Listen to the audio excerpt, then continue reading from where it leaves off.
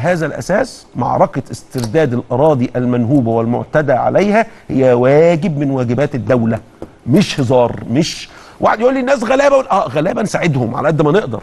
إنما ما ندخلش معاهم في صراعات ويبقى فيها قتل ودم وكلام زي كده أنا ما أعتقدش إن إحنا يعني بنسدي لأنفسنا خدمة بإن إحنا ندخل في صراعات مع أجهزة الدولة بالطريقة دي طبعا أتمنى إن مجلس النواب يتحرك أتمنى إنه الحكومة توفر حد أدنى من أماكن يعيشوا فيها لغاية ما الأمور دي تتصلح إنما عصر السبهللة اللي إحنا كنا عايشين فيه ده لو استمر على كده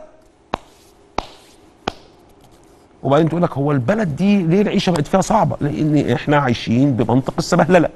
أول ما الدولة بتقول أنا موجودة علشان أنظم حاجة نطلع بقى ب 50 60 ألف قصة وحدوتة.